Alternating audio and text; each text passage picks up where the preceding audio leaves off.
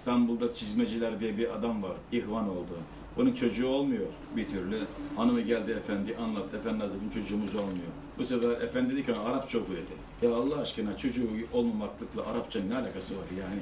Arapça oku çocuğun olacak. Hasbunallah. Ya böyle şey mi olur bu? Kadın da yani itikatlı, inançlı bir kadın. Gitti ondan sonra bir hoca hanımın kursuna girdi, Arapça okudu. Şimdi var dört tane çocuk. Ya çocuğun dünyaya gelmesiyle Arapçanın ne alakası var? Yani araya bir şey koyuyorlar ama sana göre bana göre hiçbir şey bu. Fakat birisi bir bağlantı yapıyor arada. Ne bağlantısı yapıyorsa. E bu işi yapan kim? Allah'tır ya.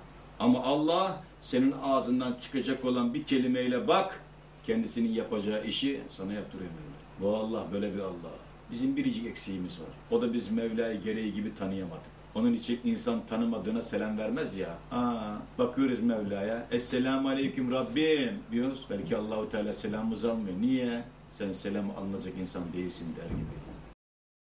Allahümme salli ala seyyidina Muhammedin ve ala ali seyyidina Muhammed.